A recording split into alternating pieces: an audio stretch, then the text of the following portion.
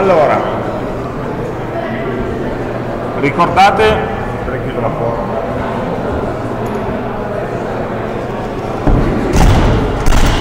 ricordate l'esercizio della scorsa settimana? In cui avevamo risolto quel rompicapo della scacchiera con 0, 1, 2 no? con la procedura ricorsiva e ci eravamo detti sarebbe carino vedere qual è l'andamento del tempo di esecuzione no, al variare del lato della scacchiera non so se voi l'avete fatto questa prova io l'ho fatto ma in realtà ho fatto anche un piccolo passettino in più che è quello di incasellare questo algoritmo di ricerca all'interno di una piccola interfaccia grafica ok? nulla di speciale nel senso che alla fine ho costruito un controller che avesse un metodo doCalcola che internamente chiama il metodo conta soluzioni della classe che si chiamava ricerca eh? l'ho chiamato model perché in questo esercizio qua svolge il ruolo del modello la classe ricerca di prima no? che abbiamo fatto svolto insieme la volta scorsa e poi stampo il tempo, nulla di speciale partiamo da qui hm? perché ci sono alcune cose che non vanno bene. Allora, questa è una semplicissima applicazione in cui ho messo uno spinner per modificare il lato della scacchiera, quindi se è una scacchiera di 2x2 mi dice che in totale ci sono 8 soluzioni e ci mette un tempo ridicolo, tra 0 e 1 millisecondi, se la scacchiera lato, non stampo qua tutte le soluzioni, solamente il numero e il tempo. Hm? Se la scacchiera lato 3 avrò 48 soluzioni, anche qui è praticamente istantaneo trovarle, se la scacchiera lato 4 comincio avendo 512 soluzioni, se lato 5 il numero che cercavamo, no? 12.288, si vede che il tempo necessario per trovare le soluzioni in realtà è di pochi millisecondi infatti è istantaneo. Eh, la settimana scorsa ci abbiamo messo di più perché stampavamo tutto, quindi in realtà la, la maggior parte del tempo l'applicazione lo spendeva a fare scrolling di tutto quel testo stampato, eh, ma in realtà il, il, il, tempo di calcolo è veramente ridicolo. E, e quindi posso anche azzardarmi a provare ad aumentare il lato della scacchiera. Quindi al lato 5 comincia a essere percettibile, nel senso che è diverso da 0 in millisecondi il tempo. Se vado sul lato 6, il numero di soluzioni aumenta, in qualche modo è imparentato con l'esponenziale del numero di caselle. E il numero di caselle è il quadrato del lato, no? quindi cresce come un doppio esponenziale.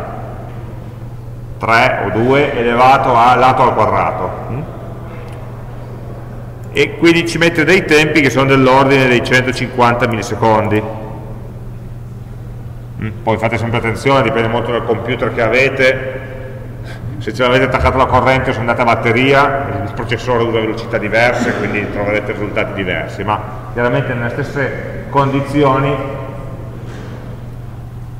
trovate tempi analoghi. E quindi mi posso anche spostare su lati maggiori. Ecco qui comincia ad avvertirsi lato 6 risponde in un decimo di secondo, meno di due decimi di secondo, il lato 7 comincia a farmi venire il dubbio se si è bloccato o no, ci ha messo 12 secondi. Mm? E il numero di combinazioni sono dell'ordine di, quante sono? Se non sbaglio a leggere il numero sono 50 milioni mm? di soluzioni diverse faccio ricalcolare per sicurezza, questo è un tempo. Su 8 non ci provo, mm? nel senso che non so se ci mette 10 minuti o qualcosa di questo genere, io dopo qualche minuto l'ho interrotto perché avevo altro da fare. Mm. Chiaramente il numero di soluzioni è esatto, il tempo pochino, è sempre lo stesso, il tempo invece un pochino fluttua. Quindi se qualcuno avesse pazienza, provare con valori più grandi riesce a avere un'idea no, di quale sia il grafico del numero di selezioni e il grafico del tempo di risoluzione. Ma anche senza andare su valori più alti, hm, che non è il mio obiettivo in questa prima ora, è quello di farci notare che cosa succede all'interfaccia grafica quando il programma deve calcolare qualcosa di pesante. Io clicco su calcola, sappiamo di nuovo sul 7, sappiamo che dovremo aspettare una decina di secondi abbondante, mentre il programma calcola l'interfaccia grafica è morta. Io sto cliccando qua e là, non fa nulla. Dopo un po' Windows si arrabbia e mi dice questo programma non risponde. Poi torna a essere, no, continua a essere non risponderà fino a, ah, perché ho prodotto un calcolo adesso lo sta ricalcolando cioè, mentre il programma lavora, l'interfaccia grafica è congelata, immobile, non fa nulla e se provo a cliccare su qualche bottone non succede nulla, anzi Windows si arrabbia perché dice questa applicazione non risponde ai tuoi comandi, non risponde ai tuoi eventi. Allora questo chiaramente non è piacevole, non è accettabile in un programma vero, quindi oggi cerchiamo di capire come si, fa, come si affronta questo problema. Quindi finora un problema non l'abbiamo percepito perché fino a quando i tempi di reazione, torno sul 6, di un gestore dell'evento sono dell'ordine di frazioni di secondo, l'utente neanche volesse riesce a cliccare questo così in fretta da creare dei problemi. Quando però i tempi di esecuzione superano il secondo, o qualche secondo e il problema è che la finestra non risponde, vedete, anche se cercassi di spostare la finestra non, non riesco a farci nulla. E tira su e poi finalmente quando l'elaborazione finisce e quindi il gestore dei eventi termina, posso lavorare. Allora, cerchiamo di capire perché succede questo e come fare a complicarci la vita per fare in modo che l'interfaccia sia più dinamicamente gestibile. E per questo dovremmo parlare un po' di concorrenza all'interno del JavaFX. Concorrenza non come concorrenza dei mercati, ma come cose che vanno avanti in parallelo. Quindi parallelismo, esecuzione concorrente di diverse attività. Cioè noi vogliamo che il programma contemporaneamente permetta di gestire all'utente di giocare con l'interfaccia utente e contemporaneamente vada avanti con i calcoli. Allora, eh, da, da dove arriva il problema? Il problema arriva dal fatto che la libreria JavaFX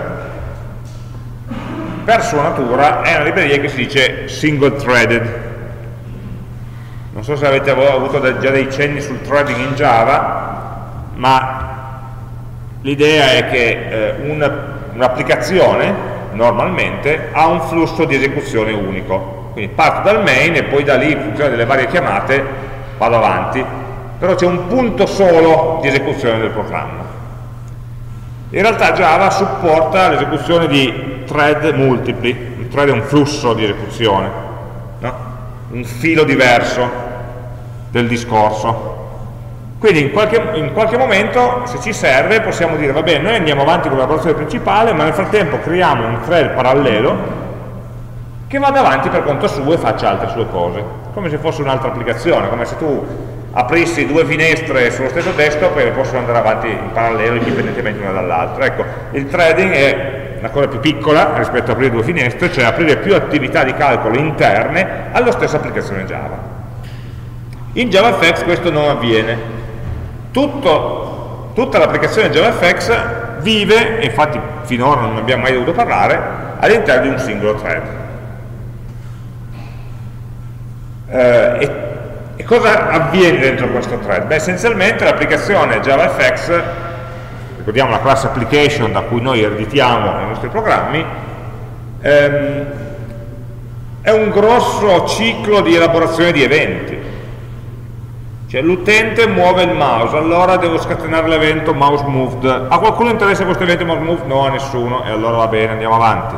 L'utente clicca sulla frecciolina per aumentare il numero, a qualcuno interessa che l'utente abbia cliccato sì, la frecciolina stessa lo vuole sapere, allora incrementa il numero. Allora chiamo il gestore di evento di quella frecciolina su quell'elemento, in questo caso è un gestore di evento già definito. dal componente stesso. L'utente ha cliccato su calcola, a qualcuno interessa che l'utente abbia cliccato su calcola? Sì, a noi due, al bottone che vuole farsi vedere premuto, quindi c'è l'animazione per farsi vedere premuto, e alla nostra applicazione che vuole lanciare l'algoritmo ricorsivo. E allora questo evento viene passato no, da, da, una, da, uno all'altro a tutte diciamo eh, le classi interessate a conoscerlo. È un loop così, cioè il, il gestore dell'interfaccia grafica aspetta che succeda qualcosa, quindi genera eventi, intercetta gli eventi e li passa a chi li deve gestire. Finito la gestione di un evento passa a quello successivo. Quindi è una grossa lunga coda di eventi. E questi eventi vengono elaborati uno alla volta, fino a quando non ho finito di elaborare l'evento precedente non passo a quello successivo.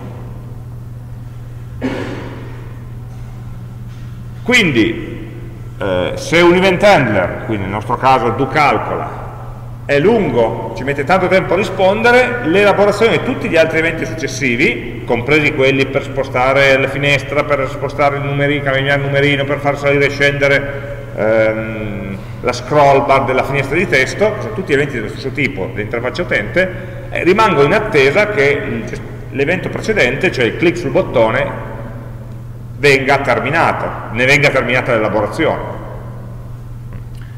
E quindi se ho un elemento lento mi blocca tutto il resto dell'interfaccia fin tanto che lui non ha risposto. Quindi dal punto di vista diciamo così, una mappa di ciò che succede possiamo modellarlo così, poi dopo aggiungeremo dei pezzi a questa figura, se non fosse già complicata di per sé. Noi abbiamo il grafo della scena, no? la nostra scena su questa scena l'utente fa qualcosa, sposta il mouse, clicca da qualche parte, sposta la finestra, la ridimensiona, allarga, la stringe, scrive qualcosa dentro un campo di testo, eh, gli utenti nostri non stanno mai bravi, fanno sempre qualcosa sul, sull'interfaccia. Ogni azione che un utente fa sull'interfaccia viene accodata, viene messa in una coda, dalle quali tutto ciò, tutto ciò che avviene viene accodato e verrà poi elaborato uno per volta. Da questa coda viene elaborato un evento alla volta, quindi estraggo il prossimo evento da elaborare e lo elaboro. L'elaborazione di un evento combina, dicevamo, il comportamento predefinito, cioè quando premo un bottone lui si muove per far vedere che è stato premuto, più eventuali event handler definiti da noi. Okay? Tutto questo fa parte dell'elaborazione dell'evento. Questa elaborazione dell'evento, mentre le azioni dell'utente possono essere molte, possono avvenire in qualunque momento, gli eventi invece vengono elaborati uno dopo l'altro, uno per volta, in ordine. Mm? Eh, alla fine cosa fa un evento? Può, eh, cioè il gestore di un evento, può modificare il grafo della scena, sappiamo. Quindi io vado a scrivere qualcosa in un campo di testo, cambio lo stato di un bottone, cose di questo genere. Cambio le proprietà del grafo della scena. Lo posso fare qua dentro, e quindi viene aggiornato il grafo della scena che al termine dell'elaborazione dell'evento stesso potrà aggiornarsi anche visivamente. Al termine dell'elaborazione dell'evento potrà aggiornarsi visivamente. Quindi se noi avessimo un gestore dell'evento che ci mette tanto tempo e al suo interno, qui, scrive delle cose in interfaccia, quindi sono arrivato al 10%, sono arrivato al 20%, aspetta ancora un po', ho quasi finito, queste scritte non verrebbero viste man mano che vengono stampate, perché verrebbero viste solamente quando l'elaborazione dell'evento è finita e la modifica della scena viene propagata al grafo della scena. E l'interfaccia grafica ha tempo, to tocca a lei, eh, ha tempo di aggiornare la videata. Quindi se voi provate da una... Eh, vediamolo. Se io scrivessi dal mio programma Java, no, quando stampa lato soluzioni, prima po potrei dire txt result append text partenza. Diciamo sono partito così ti fa vedere che sono partito e poi tu aspetti ti farà vedere che ha finito quindi stampo questo messaggio partenza prima di lanciare la procedura ricorsiva, eh? quindi subito, immediatamente. Cosa succede se facessi questo? se io premo 5, calcola, mi stampa partenza lato 5. Ovvio, è talmente veloce che non ho visto la differenza tra la prima stampa, partenza che avviene prima della chiamata ricorsiva e la seconda stampa che avviene dopo. Allora passiamo al lato 7, che sappiamo che ci mette tanto. Calcola, ecco io ho premuto calcola, la scritta partenza non compare. non compare e non comparirà fin tanto che saranno passati quei 12 secondi e poi compare in, contemporaneamente la prima e la seconda stampa. No? Sembra un po' antintuitivo, dici ma come sarebbe? Cioè, io ho stampato questo qui, poi ho fatto un lavoro da 12 secondi, poi ho stampato un'altra cosa, perché mi fai vedere tutto insieme? È perché queste tre operazioni, prima stampa, elaborazione, seconda stampa, sono tutte qua dentro, dentro l'elaborazione dell'evento. Solo dopo che l'evento avrà terminato il controllo torna al grafo della scena che si aggiorna. Quindi io la proprietà interna al nodo di testo l'ho aggiornata, l'ho modificata, ma visivamente il grafo della scena non si è aggiornato perché non toccava lui. Qui c'è un giro unico, un ciclo, in cui quando si aggiorna il grafo della scena non sto elaborando gli eventi, quando sto elaborando gli eventi non sto aggiornando il grafo della scena. Quindi le proprietà degli elementi sono cambiate ma visivamente su schermo non è cambiato nulla. Quindi questo modello a single thread ha questi due problemi. Il primo problema è che se un evento richiede molto tempo gli altri eventi restano in coda per, in attesa e quindi l'interfaccia sembra bloccata all'interazione non accetta interazione e secondo è che il risultato di, questo, di questa elaborazione potrà modificare la scena, quindi potrà essere visibile all'utente solo dopo che sarà tutto terminato. Non, non, è possibile mostrare dei risultati parziali, il che è molto brutto. In qualunque applicazione, quando lanciamo un'operazione lenta, siamo abituati perlomeno ad avere una barra di progresso, qualche indicatore che mi dica guarda, sono vivo, sto andando avanti, aspetta un attimo, ma ci sono. Eh, invece se, se, lo facessi eh, mi stamperebbe solo tutto al fondo dopo che io sono stato in pensiero per lui davanti a uno schermo bianco per delle ore quindi qual è la soluzione? Eh, la soluzione è fare in modo che un evento il gestore di un evento se è lento, se richiede molto calcolo non stia in mezzo ai piedi rispetto al ciclo di gestione dell'interfaccia utente che deve essere veloce, rapido e leggero quindi vogliamo fare in modo che la gestione degli eventi lenti, che richiedono molta elaborazione, venga eseguita in parallelo rispetto alla gestione dell'interfaccia utente principale. Allora l'interfaccia utente risponda sempre, istantaneamente, e nel frattempo se l'elaborazione è lunga, ci vuole 5 minuti, 10, 2 ore, vada avanti, ma non mi blocca tutto per due ore. L'idea è semplice, lancio un altro in Java si chiamano thread parallelo eh, all'interno del quale faccio i calcoli. C'è un problema però, che è quello che ci complica la vita, è che ogni qualvolta ho due flussi di esecuzione paralleli, due thread, quello principale JavaFX è quello in cui girerà, diciamo, nel nostro esempio, la procedura ricorsiva e questi due thread sono all'interno della stessa applicazione e quindi possono vedere, condividere delle variabili, degli oggetti, eh? ci sono dei rischi di integrità dei dati. Se noi siamo in parallelo, lavoriamo ognuno per conto proprio con i suoi tempi e dobbiamo lavorare su una variabile condivisa, che ne so, il modo, o anche solo la casella di testo in cui dobbiamo scrivere i risultati.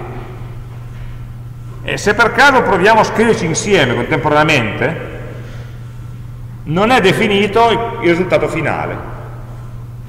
Se io e te cominciamo, proviamo a scriverci insieme contemporaneamente può darsi che venga scritto solamente ciò che hai scritto tu o che venga scritto solamente ciò che ho scritto io o che venga scritto prima ciò che hai scritto tu poi ciò che ho scritto io in questo ordine o magari nell'ordine inverso o magari le lettere mescolate perché? perché dipende dalla velocità relativa da cosa stanno facendo le due applicazioni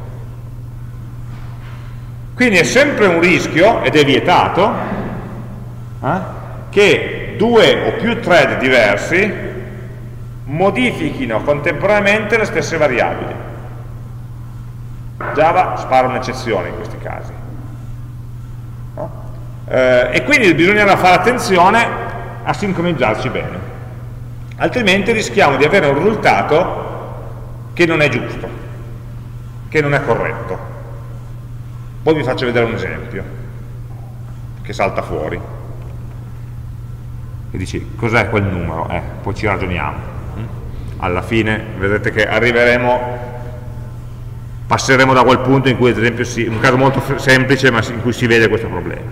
No, come regola generale, però, ricordatevi sempre, ogni variabile è di proprietà esclusiva di un thread ogni oggetto. Lui se la può modificare, eccetera, ma non lasciamo mai un oggetto in preda alle modifiche contemporanee da più di un thread. Poi vediamo in pratica in JavaFX questo come, cosa vuol dire, che conseguenze ha. Allora, eh, la nostra figura la modifichiamo in questo modo. La nostra applicazione non avrà più un solo thread, ma ne avrà due, almeno due. Uno, che è quello principale, che si chiama il thread di JavaFX, e l'altro, chiamiamolo thread di background, no? che lavora nello sfondo, nel background, e fa ciò che deve fare. Quindi cosa succede quando io ricevo un evento del tipo calcola? Quando ricevo un evento di tipo calcola, la, il gestore di evento non farà lui il calcolo, creerà un nuovo thread parallelo e dirà a questo nuovo thread parallelo fa il calcolo. L'operazione per creare un nuovo thread e farlo partire è un'operazione velocissima, sono due istruzioni. E poi il thread parte e va avanti per conto suo. Ma questo gestore di evento ha finito il suo lavoro e quindi può passare all'evento successivo. Quindi la mia elaborazione dell'evento non diventa più faccio i calcoli, ma faccio partire un thread che con calma si farà i calcoli. In parallelo parte questo altro thread che viene eseguito in parallelo, si può mettere 10 secondi, se ne può mettere 200, non importa, va avanti, e prima o poi finirà, nel senso che produrrà del risultato, ha il risultato, ha calcolato il risultato. Se non fosse che questa figura è un po' triste, perché disegnata così quel thread è molto isolato, si fa i suoi calcoli, ma io non, non ho modo di riportare questo di qua. Il risultato io lo voglio vedere. Quindi almeno quando il thread ha finito, eh, mi piacerebbe riuscire a prendere quel risultato e farlo vedere nel grafo della scena. Solo che il gestore di evento che l'ha lanciato, questo thread, è già morto minuti fa, non esiste più non è lì che sta aspettando il risultato, anzi lui non deve aspettare, deve lanciarlo e scappare. Quindi dobbiamo darci dei meccanismi in più affinché i thread in background possano comunicare in modo molto controllato col thread principale per poter se non altro comunicare il risultato o anche solo comunicare lo stato di avanzamento. Ehm, quindi che tipo di comunicazione possiamo immaginare? Possiamo immaginare che il thread in background possa informare il thread principale sul suo stato di avanzamento. Sono al 10% o sono al 90%. Quindi un valore che il thread conosce, speriamo, sul proprio stato di avanzamento, che rende noto all'applicazione principale che a questo punto può aggiornare l'interfaccia grafica di conseguenza. Oppure mh, mm, magari il metodo in background vogliamo che modifichi il grafo della scena. Adesso qui noi non l'abbiamo fatto, io non l'ho fatto perché sono pigro e non abbiamo disegnata la scacchiera, però potremmo disegnare una bella griglia in cui facciamo vedere i numerini 0, 1, 2, le varie soluzioni via via che le troviamo. No, sarebbe anche carino da vedere, cambiano vorticosamente, ogni volta che ne trova una diversa eh, compaiono dei nuovi numeri. Sarebbe carino, ma vorrebbe dire che un valore, una soluzione che è stata calcolata da questo signore qua, deve in qualche modo andare a modificare il grafo della scena. Ma abbiamo appena detto che è vietato per un thread modificare, il thread rosso, modificare oggetti blu. È vietato per un thread modificare oggetti di un'altra scena, di un altro thread. In particolare tutti i thread che non sono quelli nel, tutti gli oggetti, tutti i metodi che girano in un thread diverso da quello principale non hanno il permesso di toccare gli oggetti che sono stati creati nel thread principale. Quindi dobbiamo trovare una soluzione anche per questo. Quindi prima dobbiamo trovare una soluzione a come fare a avere un'informazione semplice, molto sintetica, a che punto sei. Eventualmente a permettere al thread secondario di modificare alcuni elementi dell'interfaccia grafica, sincronizzandosi bene col thread principale in qualche modo che impariamo a fare, ed eventualmente beh, il risultato non mi serve solo visualizzarlo, mi serve poi anche averlo magari nel modello. Ma anche il modello, poverino, è stato creato qua, in questo thread principale, il modello lo creiamo nel main, anzi nel metodo start, che fa parte del thread principale. E quindi questo event handler mm, come fa a modificare le variabili del modello? Non, si vede, non è immediatamente visibile, un conto di modificare la scena e vedo immediatamente che cambia, il modello in realtà no, non è immediatamente visibile, ma fosse più interessante, senso che alla fine il risultato di questa elaborazione rimane da qualche parte. Cioè, immaginiamo che mi voglia salvare queste scacchiere calcolate da qualche parte per poterle riutilizzare o calcolare in modo diverso. Questo ultimo punto spesso si può un po' semplificare, nel senso che mentre i primi due punti, sapere il progresso e modificare la scena mentre vado avanti, sono tipicamente elementi dovuti all'interazione con l'utente, cioè la necessità di far vedere all'utente che qualcosa sta succedendo, quest'ultimo punto spesso è sufficiente averlo alla fine. È sufficiente che alla fine dell'elaborazione ci sia un valore che venga riportato indietro dal thread, thread, dal, dal thread secondario al thread principale e poi venga salvato nel modello.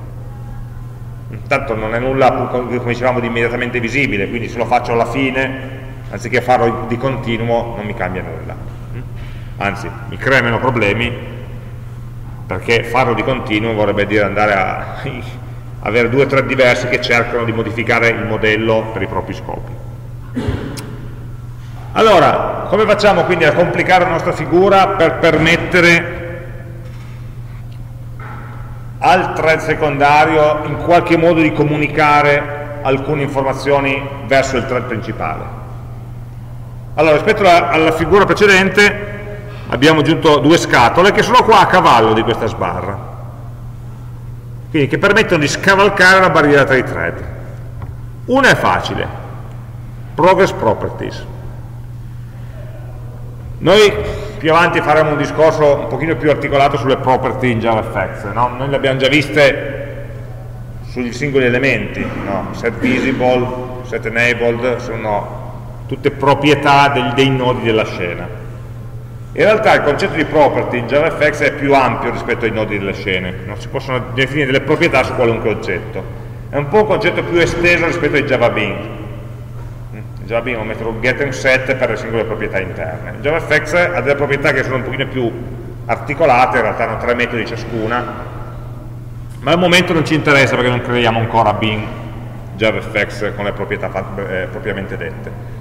Però quello che ci interessa sapere è che non solamente i nodi della scena, ma qualunque tipo di oggetto può esporre delle proprietà. Proprietà che quindi possono essere interrogate tramite i, met i loro metodi get e set da altri oggetti, anche in modo asincrono. Allora, una delle proprietà che, ha, che viene pubblicata, messa a disposizione da parte di questo thread in background è una proprietà che si chiama progress, in realtà sono due, che quindi immaginate il thread parallelo come una scatola nera, voi non sapete cosa sta succedendo lì dentro, non potete guardarlo perché quegli oggetti vivono in un thread diverso dal vostro, se li guardate vi fate male. Però sul bordo di questa scatola nera c'è un'etichetta con un numerino che dice a quale percentuale sono arrivato. Allora, quell'etichetta, essendo sul bordo della scatola, da dentro la posso modificare, quindi il thread al suo interno può modificare quel valore, e da fuori la posso leggere. Per questo che l'ho messa qua a cavallo. Quindi sono delle proprietà che dall'interno del thread possono essere aggiornate e dall'esterno del thread, in particolare dal thread principale JavaFX, possono essere lette per essere magari visualizzate. Quindi questo è già fatto, già una, eh, meccanismo che già esiste, facilissimo da sfruttare, è già predisposto da JavaFX. Però chiaramente fornisce un'informazione povera a che punto sei arrivato. Se io volessi sapere quante soluzioni hai trovato e quanti errori che so, hai trovato, già due informazioni, non ci stanno in una. Quindi devo inventarmi qualcosa in più. Allora, posso inventarmi ciò che voglio usando questa scatola in alto. Posso decidere dall'interno del thread secondario che voglio modificare, non so, aggiungere una scritta, modificare il colore di un elemento, spuntare una casella, cioè modificare il grafo della scena. Mi ha appena detto non si può fare, no, non si può fare direttamente da qua. Però io posso fare una classe speciale che contiene al suo interno l'istruzione di aggiornamento che voglio fare e fingere che sia un evento come tutti gli altri e questo evento inserirlo nella coda degli eventi. Quindi tra i vari eventi ce ne sarà uno speciale che, che è una classettina che contiene la mia istruzione di aggiornamento. Quindi quando io dal thread secondario voglio modificare qualcosa, non posso farlo, però posso preparare un messaggero, una classe messaggero, che viene accodata insieme agli altri eventi e poi con calma, quando il ciclo principale, del thread principale, estrarrà quell'evento, questo evento viene elaborato, cioè viene eseguita la modifica e quindi il grafo della scena sarà aggiornato. Quindi è un'operazione di aggiornamento che non avviene subito, avviene in modo ritardato, infatti qui ho chiamato schedule for later, cioè, ok, metti in coda che verrà fatto questo, non so quando, mm? presto, ma quanto presto dipende da quanta, quanto lavoro sta facendo questo thread principale. Ma in ogni caso è meglio che niente, cioè, l'alternativa è non farlo, quindi, o non lo faccio, o non aggiorno nulla, oppure metto in coda qualcosa in modo che venga aggiornato il prima possibile. Poi in realtà spesso, se il programma funziona bene, in modo fluido, cioè non abbiamo solo raccaricato la macchina, sono tempi di millisecondi, ecco. Solo che non ho il controllo preciso. Questo oggetto qua verrà eseguito quando vuole il thread principale e non quando vuole il thread secondario lancio un pezzo di me che faccia un lavoro e non posso avere nulla in cambio di ritorno. Ok, um, allora vediamo, cominciamo a avvicinarci al codice per fare queste cose. Allora, innanzitutto la cosa più facile, lo stato di avanzamento, il progress ehm, un task in background ha già predefinite due, avevo detto una, in realtà sono due proprietà che posso usare per comunicare il progresso. Una è semplicemente una percentuale, che poi posso esprimere come percentuale da 0 a 100 oppure come coppie di numeri lavoro totale da fare e lavoro svolto finora è uguale, no? basta solo dividere uno per l'altro e ottengo la percentuale. E poi posso anche avere un messaggio di tipo stringa. Sto calcolando, sto lavorando, sto finendo, mm, sto controllando duplicati, un messaggino di stato in cui il thread dica, dice che cosa sta facendo. Queste variabili di progresso possono essere aggiornate, quello che dicevo la finestra vista dall'interno della scatola nera, possono essere aggiornate in qualunque momento. Eme dal, dal thread secondario. E possono essere lette in qualunque momento dal thread principale. Poi vedremo che c'è un meccanismo molto carino, automatico, chiamato binding, che permette di collegare direttamente quella proprietà del thread a una proprietà di un elemento dell'interfaccia grafica. Ad esempio io posso avere una label, un nodo label dell'interfaccia grafica, che ha una proprietà text, io posso fare il binding, cioè il collegamento tra la proprietà progress del thread e la proprietà text della label. Questo vuol dire che automaticamente ogni qualvolta il thread modificherà il proprio stato di avanzamento, quella label cambierà. Quindi non devo neppure preoccuparmi io di andare a modificarla ogni volta. No? Il binding dice a JavaFX pensaci tu a mantenere aggiornati questo elemento copiando i valori dell'altro. Di binding parleremo meglio quando parleremo di properties. Quindi questo per il progress. Per quanto riguarda il, ehm, invece altre operazioni che non siano solamente comunicare lo stato di, lo stato di avanzamento, devo fare quell'operazione di scheduling che dicevo prima. Quindi creare un nuovo oggettino, una nuova operazione e chiedere al motore JavaFX per favore eseguilo quando puoi. C'è un metodo che si chiama runLater che rende l'idea, tipo eseguilo dopo, quando. La differenza è che questo, la cosa da tenere presente è che questo runLater eseguirà più tardi l'elemento, ma lo eseguirà in un thread diverso rispetto a quello in cui è stato creato. Quindi questo è il meccanismo che mi permette di portare oggetti da una parte all'altra. E poi c'è ancora un altro aspetto, come faccio a sapere quando il thread ha finito? Io ho fatto una grossa elaborazione e poi a un certo punto quando il thread finisce conosco il risultato, voglio sapere qual è il risultato che ha calcolato. Perché magari me lo voglio salvare nel modello, lo voglio stampare da qualche parte. Allora, io posso dal thread principale osservare lo stato del thread secondario ed essere informato tramite opportuni eventi eventi che non c'entrano con gli interventi di interfaccia grafica, sono concettualmente simili ma sono diversi perché gestiscono lo stato del thread, non lo stato dell'interfaccia grafica, ma anche lì posso registrare dei gestori di eventi relativi ai cambi di stato del thread.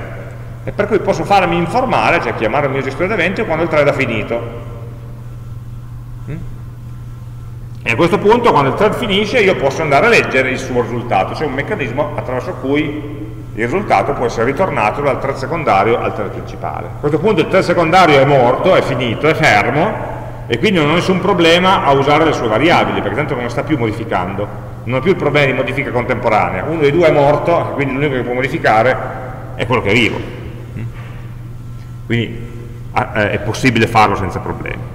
Allora, queste cose come si mappano in JavaFX, questi concetti? Si mappano attraverso delle classi che sono all'interno di questo package javafx.concurrent. JavaFX.concurrent definisce, allora, in realtà Java già di per sé ha tutto ciò che serve per fare multithreading. C'è una classe thread, c'è un'interfaccia runnable, che è come uno farebbe multithreading nativo in Java in JavaFX hanno però definito delle classi più semplificate che conoscono anche poi il meccanismo di funzionamento della piattaforma grafica. Quindi conviene usare quando possibile queste classi piuttosto che non quelle native di Java. Queste classi quali sono? Sono due, task e service, che fanno parte di un'interfaccia unica che si chiama worker, che sono dei runnable, cioè dei, degli oggetti che possono essere usati come task come thread, scusate. Allora, a noi interessa esclusivamente l'interfaccia task. Che differenza c'è tra un task e un service? Un task è un processo in background che inizia e finisce. Quando finisce ha un certo risultato da consegnare. Un service è qualcosa che invece lancia in background e idealmente non finisce mai, finirà solamente quando chiudo il programma e quindi qualche cosa che in parallelo va avanti per sempre, gestirà certe, certe operazioni, poi, quindi chiaramente le modalità di comunicazione sono diverse, mentre un task fa un certo lavoro specifico, ti passo dei parametri, fammi questo lavoro, dammi il risultato quando avrai finito, un service è qualcosa che lui parte e poi in qualche modo di tanto in tanto devo contattarlo per dirgli senti c'è questa cosa da fare Quindi le modalità di comunicazione sono diverse. Per le nostre esigenze essenzialmente ci basterà lavorare con dei task, sono più semplici. Task è una classe generica e quindi come parametro generico richiede un tipo V. V è il tipo di valore del risultato. Cioè un task alla fine produce un risultato. Che cos'è questo risultato? Un oggetto. E io qua specifico di che tipo è questo oggetto. Che ne so, nel caso del mio oggetto che, che faceva le combinazioni, il risultato è un numero intero, cioè il numero di combinazioni Oppure potrebbe essere una collection di scacchiere, se voglio averle tutte. Allora ho un oggetto un pochino più grasso, che è una collection di scacchiere che si, tiene, si porta dietro tutte le soluzioni trovate. Quindi io definisco qual è la classe che rappresenta il risultato dell'oggetto, del, del, risultato dell'elaborazione del, del, del task. E quando il task è finito, io posso usare un getValue per leggere questo valore prima che il task finisca non posso mm? perché fino a quando lui non fa return il valore non è pronto se per caso ci fosse un task che non deve ritornare nulla eh, vabbè, posso definire con questo tipo fittizio void un generic di void fa un po' ridere ma si sono dovuti inventare un modo per avere un, un tipo che non facesse nulla allora qual è la vita di un task? Cosa fa? Beh, um, un task può essere, è un oggetto come tutti gli altri, e attraversa suo, nel suo ciclo di vita vari stadi.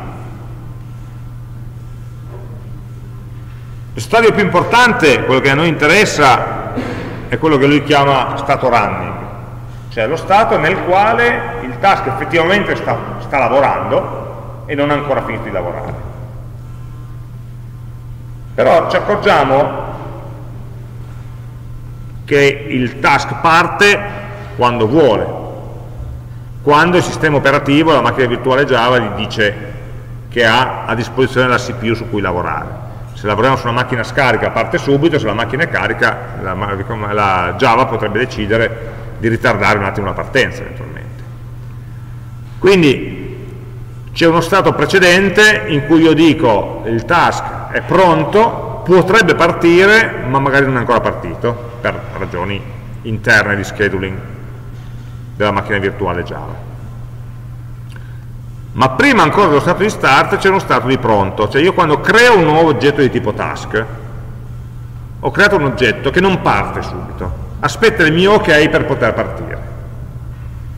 Perché deve aspettare il mio ok? Se ho creato l'oggetto perché non può partire subito? Ma perché magari devo impostargli delle proprietà. Quindi creo l'oggetto, imposto le proprietà che servono, tipicamente vado a vedere il suo progress, devo collegarlo a un'etichetta dell'interfaccia utente, eh, devo registrare un evento per sapere quando lui termina e così via. Quindi devo avere già l'oggetto su cui faccio delle cose, ma l'oggetto non può ancora partire, perché una volta che è partito non è più sotto il mio controllo. Quindi creo un oggetto, è in stato di pronto, imposto le proprietà che mi serve impostare su questo oggetto e poi lo faccio partire. Faccio partire un thread che corrisponde a questo task e il, la classe task ha un metodo call che viene chiamato quando il task effettivamente può partire. Quindi il nostro codice dentro la classe task sarà effettivamente all'interno di un metodo che si chiama call. Quindi creare un thread in background significa implementare una sottoclasse di task e ridefinire il metodo call, terra terra. Dentro il metodo call ci vanno le istruzioni che noi vogliamo che vengano eseguite. Ok? Poi il metodo call prima o poi termina. Quando il metodo call termina, eh, il task va in uno stato terminato. Questo stato terminato in realtà è triplice, nel senso che distingue la causa per cui è terminato. Può darsi che sia terminato in modo normale, attraverso un return, ho ritornato il valore, quindi va nello stato di succeeded. Sono terminato con successo. Oppure c'è una eccezione durante l'esecuzione del task che non viene catturata, non viene gestita, e quindi questa eccezione fa morire il task e lo porta però in uno stato failed. Quindi task terminato, fallito. C'è un terzo caso, è quello in cui il task venga interrotto anzitempo. Chi lo interrompe anzitempo? Beh, il thread principale eventualmente.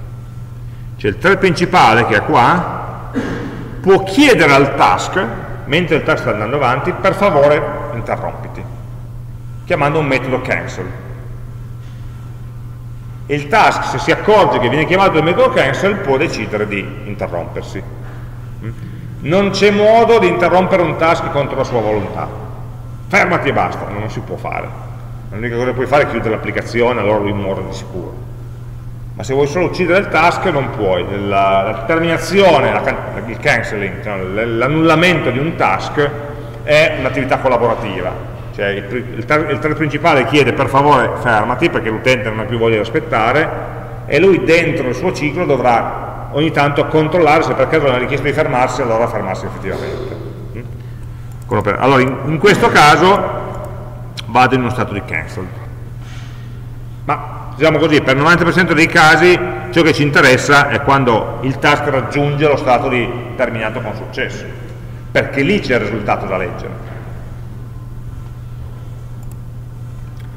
Quindi in pratica dicevamo, per creare un task devo fare una sottoclasse di task, javafx.concurrent.task, parametrizzare questa sottoclasse con il tipo di oggetto che voglio ritornare quando il task sarà terminato con successo e fare l'overriding del metodo call. Mm? E dentro il metodo call fare il lavoro che devo fare. Faccio il lavoro che devo fare e alla fine ritorno un oggetto del tipo chiaramente compatibile col tipo che avevo dichiarato all'inizio. Mentre faccio il lavoro, devo in parallelo, cioè, devo ricordarmi di fare due cose con una certa frequenza. Le due cose sono controllare se il principale mi ha chiesto di annullarmi, chiamando questo metodo isCancelled, un metodo di task che io eredito ovviamente, periodicamente. E, se voglio, anche aggiornare periodicamente le proprietà di progress con un metodo che si chiama update progress. E così aggiorno questo valore che viene diciamo così, esposto all'esterno e che eventualmente l'interfaccia grafica potrà eh, modificare. Poi se voglio posso anche schedulare degli aggiornamenti dell'interfaccia utente ma questo in più. Queste quattro invece sono i compiti obbligatori di cui devo tenere presente nel mio metodo call. Qui c'è un esempio di un task inutile che conta da 0 a 100.000, tanto per perdere un po' di tempo. Allora, qui fa vedere la creazione del task. Questo è stato creato come classe inline. Cosa vuol dire? Vuol dire che normalmente io dovrei creare, qui c'è scritto, una sottoclasse di task. Quindi, class, il mio task che conta fino a 100.000, extends task di integer. Era integer questo? Sì. E poi definisco una classe che fa l'override di call. Quella classe viene istanziata una volta sola devo istanziare un task di integer, il mio task uguale new mio task e verrà usato una volta sola. Allora, devo fare un file Java nuovo per un oggetto che userò una volta sola e che dentro ha implementato un metodo solo.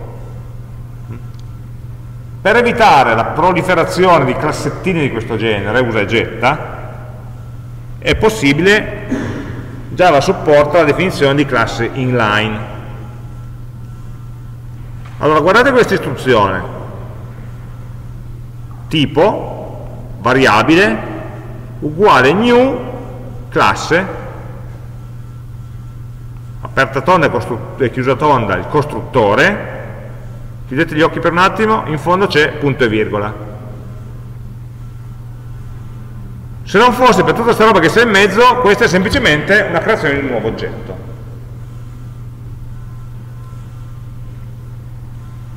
La differenza è che io non voglio creare un oggetto di tipo task, ma un oggetto di una sottoclasse di task.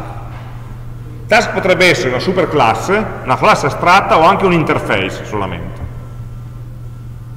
Questa è una scorciatoia per dire costruisco e definisco come funziona tra queste parentesi graffe, tra questa e quella sotto, una inner class anonima, una classe interna anonima, non ha nome. Costruisco un'istanza di una classe che, a cui non ho dato nome, ma ti ho solo detto che è una sottoclasse di task. Quindi è una cosa un po' strana, perché siamo dentro il corpo di un metodo, dentro il corpo di un metodo creiamo una nuova classe e poi non solo, non contenti che l'abbiamo creata, non gli diamo un nome, la istanziamo. La sua istanza invece ha un nome, si chiama task. È l'istanza di una classe anonima.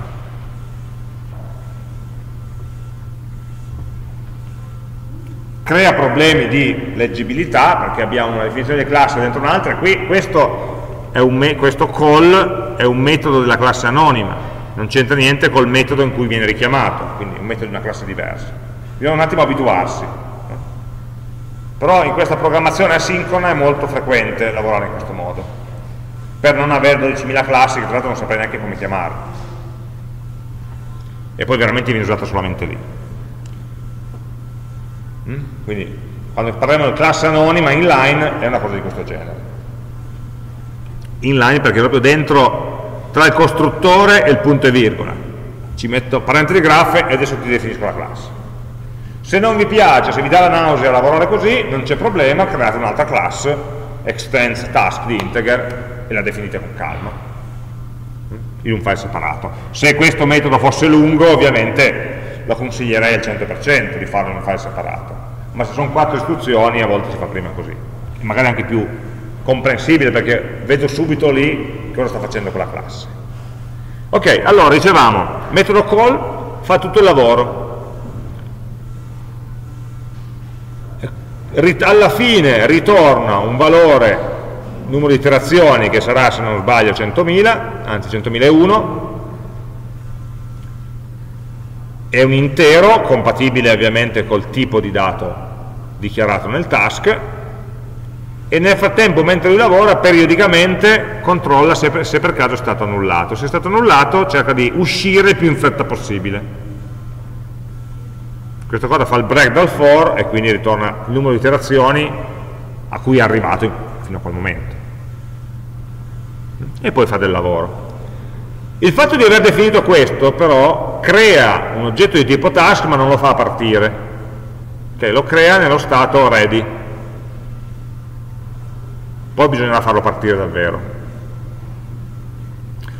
Ehm, dicevamo, l'altra cosa che può fare il metodo call è aggiornare periodicamente il progresso. Allora, il task, la classe task, quindi anche le nostre sottoclassi, hanno già, ereditano già tre proprietà. Una si chiama progress, che è pensata per essere un numero tra 0 e 1. La seconda si chiama total work, che è un numero qualunque, positivo, e la terza è, è work done, che è un numero qualunque positivo, compreso tra 0 e total work. Quindi io posso dichiarare il mio progresso o dicendo sono al 20%, oppure dicendo ne ho fatti 17 su 340.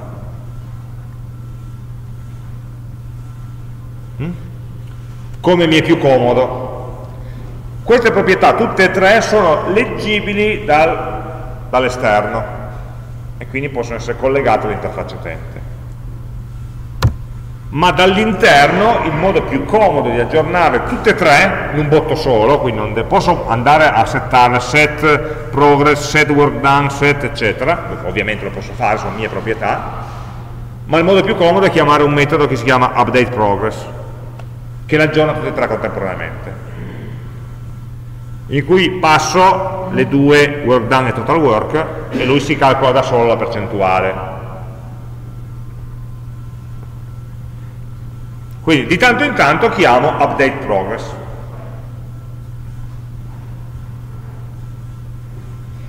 Non è che ogni volta che chiamo update progress il thread principale viene informato, genera degli eventi, no, semplicemente aggiorno le proprietà e il thread principale le leggerà quando vorrà eventualmente queste proprietà. Non sto dando del lavoro in più al thread principale. Rendo visibile ciò che faccio al mio interno. Quindi lo posso fare quanto frequentemente voglio. Così come posso aggiornare un'altra proprietà di tipo stringa, che è una, proprietà, una stringa più descrittiva, breve, un breve testo in cui descrivo cosa sto facendo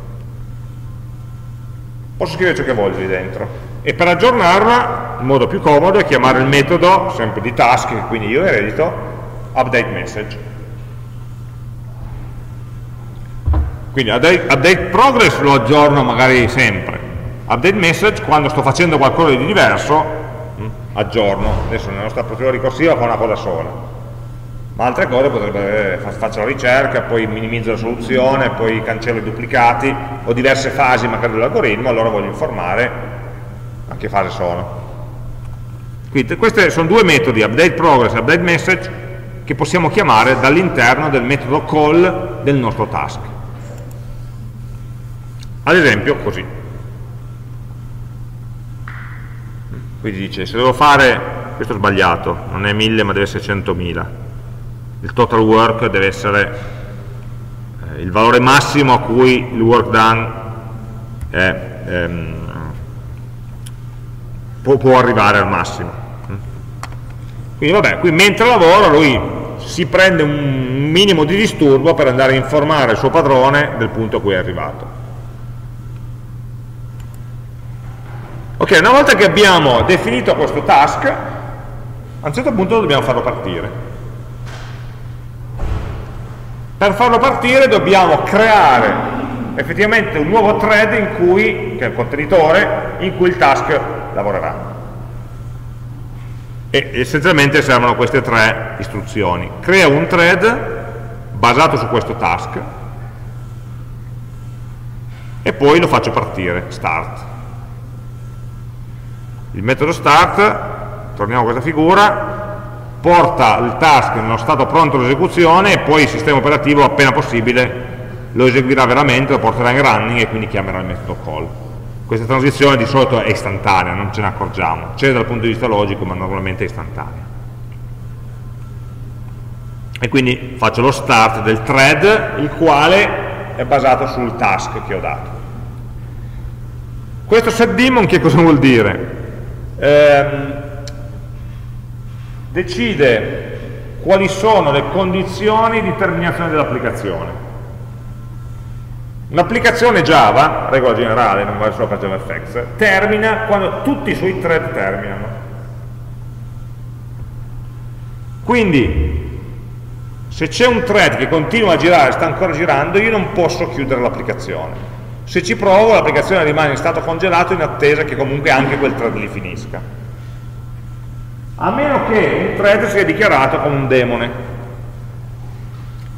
Questa è una terminologia un po' strana, arriva dal, dal, da un concetto sistemistico in, in Unix, in Linux. No? I daemon sono dei processi che girano in background e servono per svolgere servizi. Quindi loro in realtà girano sempre e se qualcuno richiede qualche servizio lo esegue, altrimenti non hanno nulla da fare sono dei diavoletti che sono lì di nascosto, pronti alla richiesta. Allora, se un task viene marcato come daemon, allora è normale che, che, il thread sia ancora attivo e la sua attività, cioè il fatto che non sia ancora terminato, non deve impedirmi la chiusura dell'applicazione. E infatti quando l'applicazione viene chiusa, o meglio, eh, l'applicazione si chiude quando terminano, muoiono tutti i task ad eccezione dei daemon. I daemon non contano nel vedere se sono attivi o no.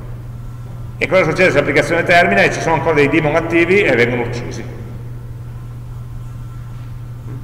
Quindi questo è un modo per dire, guarda che eh, io non vi ho fatto l'esempio con 8 della scacchiera perché so che ci vuole troppo tempo, ma se lo facessi in un task parallelo e questo task non fosse impostato come daemon, non riuscirei a chiudere l'applicazione fino a quando quella, quel valore non sarà finito, l'elaborazione non sarà finita. Se invece lo dichiaro come daemon, chiudo l'applicazione e quella elaborazione, anche se non è finita, viene uccisa di brutto perché l'applicazione muore. Quindi, se vogliamo che chiudendo l'applicazione, cioè chiudendo il thread principale, gli eventuali thread in background vengono uccisi, li settiamo come daemon. Se invece vogliamo impedire la chiusura dell'applicazione principale fin tanto che il thread secondario non è finito, allora lo metto se daemon false oppure non gli dico nulla. E tipicamente se il thread in background, immaginate stia aggiornando dei dati nel database, non voglio che venga interrotto a metà del lavoro, voglio che finisca. Anche se l'utente ha detto chiudi, va bene, aspetta un attimo che finisco di mettere a posto il database, poi dopo chiudo. Se no ti lascio il database in uno stato incoerente, metà aggiornato, metà no. Quindi dipende da che cosa fa il thread essenzialmente. Ovviamente l'oggetto chiave è l'istruzione start, ecco l'unica cosa, un, un, errore, io so che mi sbaglio sempre perché thread e task si somigliano tanto come nomi, lo start va chiamato sul thread, non sul task. Mm? Quindi il, thread, il task non ha un metodo start, ha un metodo run che però non deve essere chiamato, perché ci pensa il thread a chiamarlo c'è un po' di confusione perché non sapevano più che nome inventarsi essenzialmente quando hanno inventato queste cose. Eh, proviamo a cominciare a fare qualcosa prima di andare avanti a vedere come comunicare tra il task e l'applicazione principale. Allora, proviamo un po' a migrare questa elaborazione all'interno di un task. Quindi il nostro do calcola che abbiamo capito è troppo lento, in particolare il conto soluzioni è un po' troppo lento per i nostri gusti.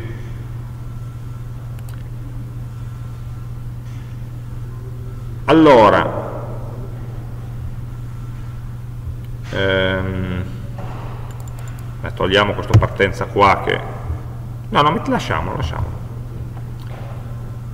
Fatemi fare, giusto per pulizia, un branch diverso, new branch, questo qua si chiamava with GUI, no? con l'interfaccia grafica, e questo branch, no, aspetta un attimo che chiudo l'applicazione, team, switch to new branch, e lo posso chiamare, siamo nel branch with GUI, il master era quello dell'altra volta, poi li pubblico tutti ovviamente, però avendo i vari branch potete vedere le varie versioni. Eh, lo chiamo ehm, async GUI, cioè l'interfaccia grafica asincrona.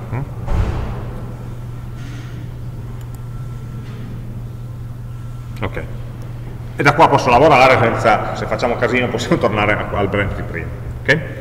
Allora, dicevamo, voglio perlomeno spostare in un task diverso il calcolo delle soluzioni. Siamo dentro do calcola, e quando abbiamo letto il valore no, del, del, lato della tabella da, da calcolare, abbiamo stampato il valore partenza, e adesso dobbiamo il più in fretta possibile toglierci dai piedi. Cioè questo do calcola non deve prendere più di qualche millisecondo. Quindi lancio, creo un task e gli dico, caro task, fa tutti i calcoli. ok? Allora, abbiamo detto che è un task che mi restituisca un valore intero, che è il valore calcolato, il tipo di valore calcolato da, da questo conta soluzioni è un int, no? Quindi questo task complessivamente farà il lavoro che deve fare task è una classe di javafx.concurrent attenzione a non prendere altra roba, eh? questo package, che restituisce un valore intero. E la variabile la posso, chiamiamola task minuscolo, questo è il mio task in background. Lo posso creare come sottoclasse di task di integer, inline anonima. Ricordiamoci che qua siamo sempre dentro l'istruzione in cui creo un oggetto, quindi ci vuole il punto e virgola qua in fondo. Quindi qui ho creato un oggetto, una sottoclasse. Una sottoclasse completa solamente quando fa l'override dei metodi astratti, oppure dei metodi che io voglio modificare. Infatti non è contento Eclipse, mi dice guarda che il nuovo tipo sottoclasse task deve implementare il metodo astratto ereditato call. Cioè la classe madre è una classe astratta perché contiene un metodo call che è dichiarato astratto. Astratto vuol dire non implementato. E quindi qualunque sottoclasse che non deve essere astratta, cioè di cui istanzi un nuovo oggetto e faccio una new, deve ridefinire quel metodo. La cosa bella di Eclipse è che se dici ok voglio aggiungerlo, mi mette già la signature pronta così non devo andarmi a vedere la documentazione per vedere com'è il metodo call. Quindi override protected integer. Questo integer perché? perché ho dichiarato integer il task. Metodo call. E qua dentro c'è il metodo. Che ovviamente non ritornerà null dovrà ritornare qualche cosa.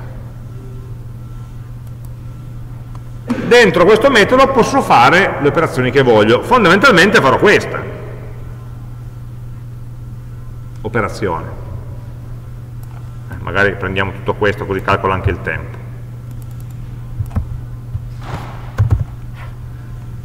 No?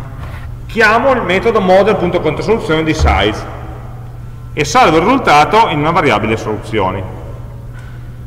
La variabile soluzioni è poi il valore che posso ritornare al mio chiamante. Quindi quando il metodo call verrà chiamato, non so quando, in un thread diverso, farà questo lavoro.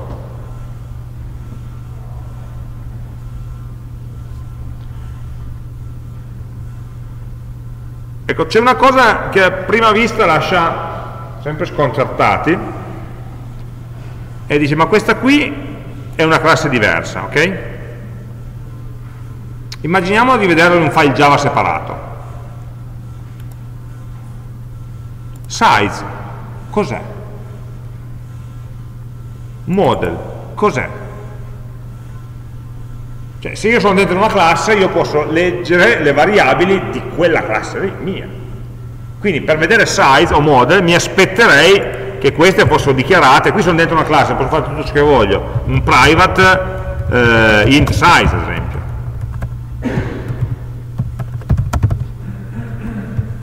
No? E che questo size mi venisse passato alla classe nel costruttore. Da chi? Da chi mi ha creato. No? Sì, è tutto vero, è tutto possibile. In realtà c'è un meccanismo in più, che ha un nome strano, si chiama closure. Se fate JavaScript ci morite dietro le closure, eh, perché è tutto così. Per cui una classe inline ha la visibilità delle variabili della classe all'interno della quale è definita. È una gran porcata. Eh? Perché noi abbiamo un metodo do calcola della classe controller che ha suoi, delle sue variabili, questa è una variabile locale di questo metodo, size, una variabile intera locale qua di do calcola, e per il fatto che questa classe è stata dichiarata dentro il testo di quel metodo, si porta dietro memoria no, delle variabili, delle variabili diciamo così, che erano state definite qua dentro nel momento in cui il metodo è stato definito, nel momento in cui la classe è stata definita. E quindi dall'interno dei metodi di, del task posso anche usare le variabili del metodo che le contiene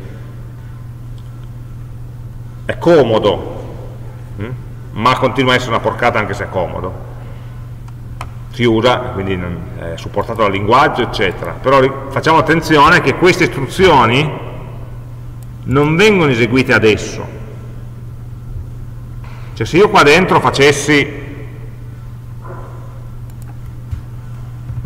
eh, size più più,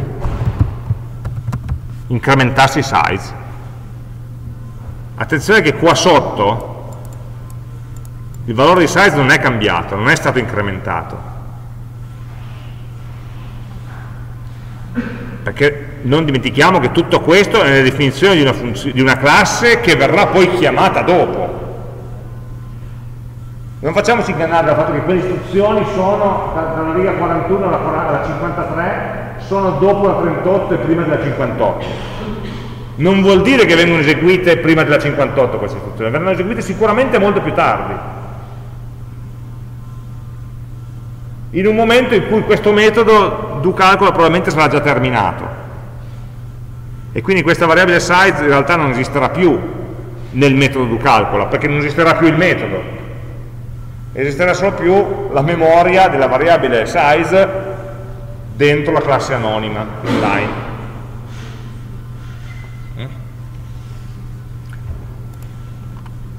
È complicato. Mm? Però se non ci pensiamo troppo funziona. L'unica cosa facciamo attenzione è che ciò dobbiamo solo tenere ben chiaro che ciò che scriviamo qua non viene eseguito adesso ma verrà eseguito molto più tardi. Ok, però viene, viene eseguito, così mi dicono. Allora, cosa faccio di questo task? Beh, prima o poi lo devo far partire. Finora ho solo creato una variabile di tipo task e poi la dovrò far partire. Faccio partire, abbiamo detto come? Creando un nuovo thread. Thread è un oggetto di, nativo di Java, java.language, non è specifico di JavaFX, new thread partendo dal task quindi crea un nuovo thread e facci girare dentro questo task se vuoi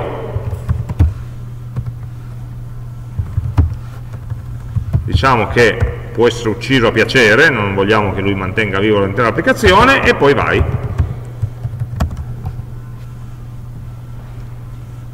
con questa chiamata start io effettivamente ho dato un calcio al mio thread, al mio task che è stato incluso dentro un thread nuovo e gli ho detto vai, fatti la tua vita. Io non ho più niente da fare.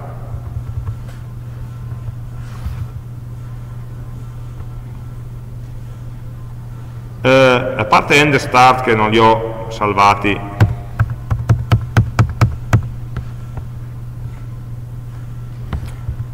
Mi piacerebbe poi stampare il risultato dell'esecuzione di questo calcolo.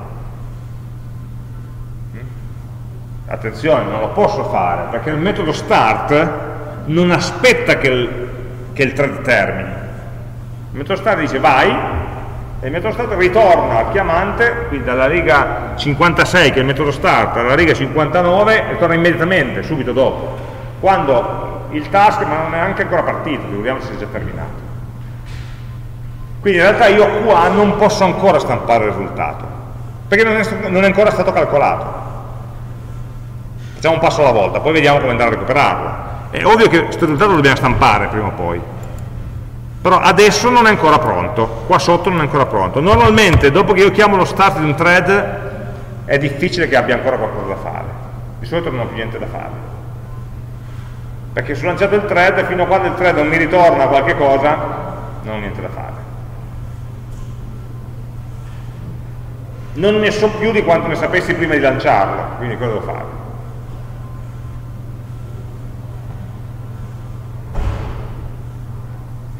Allora vediamo se questa cosa fa qualcosa allora come faccio? in realtà questo thread adesso se anche parte è invisibile io non me ne accorgo Allora, possiamo usare la console, eh? non possiamo mettere qualcosa nell'interfaccia grafica, quindi possiamo usare la console che dica system.out, il thread dice sono qua, sono vivo,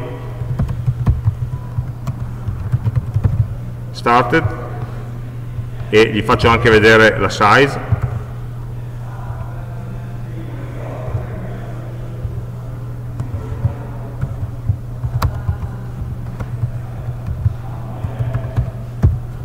solo a scopo di debug, eh, ovviamente. e poi finished. Size. E poi posso anche mettere vabbè, basta così. Tanto sono solo debug finished è come l'ho scritto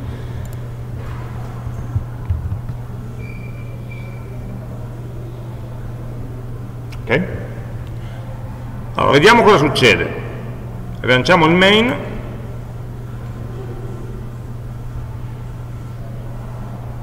E schiacciamo calcola.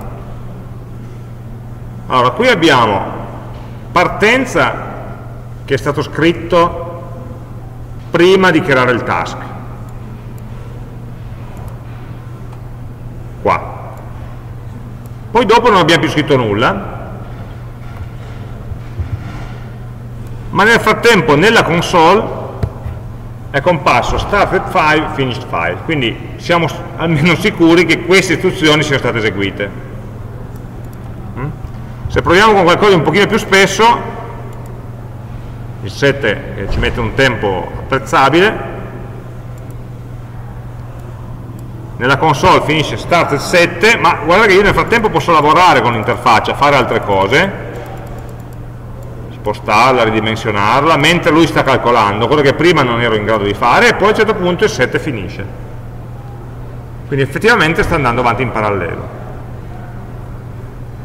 Di più, io posso dire, mentre faccio il 7 calcola, è partito, ma nel frattempo posso calcolarmi un 6 perché mi serviva, allora inizia e finisce il 6 in parallelo mentre il 7 sta ancora elaborando, ma rifaccio un altro 6 perché mi serve, e poi prima o poi il 7 finirà, infatti è finito qua. Quindi ogni volta che schiaccio calcola mi parte un thread parallelo che ha la sua elaborazione da fare. E poi a un certo punto finirà. Nel frattempo l'interfaccia utente è completamente usabile. L'unico difetto di tutto questo è che se non avessi accesso alla console non avrei modo di vedere che i task ci sono, ma soprattutto, non, anche perché non ho stampato, non saprei quanto vale il risultato. Quindi devo in qualche modo, quando il task finisce, accorgermi che è finito, prendere il risultato e farlo vedere qua. Non solo partenza, ma anche la fine col numero di soluzioni trovate.